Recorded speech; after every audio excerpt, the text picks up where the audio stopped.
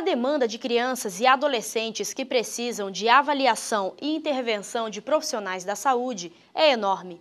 Acredita-se, inclusive, que a demanda de crianças e adolescentes deve ser maior que a de adultos em consultórios psicológicos. Por outro lado, o número de profissionais com formação voltada ao atendimento dessa clientela ainda é pequeno e sua maioria se concentra nos grandes centros. Para realizar o diagnóstico e estabelecer um plano de intervenção, é necessário conhecer a patologia que aflige a criança ou o adolescente. No curso de Psicopatologia da Infância e Adolescência, você terá a oportunidade de se familiarizar com as características de diversas patologias e, dessa forma, ser capaz de identificá-las.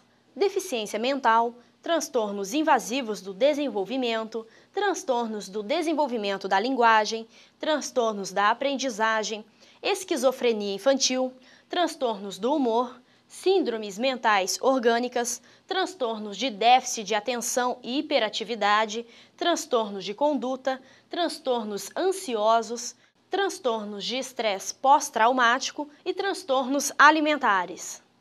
Aproveite essa oportunidade para se manter atualizado. Faça hoje mesmo sua matrícula no curso de Psicopatologia da Infância e Adolescência do Portal Educação. Acesse www.portaleducação.com.br e bons estudos!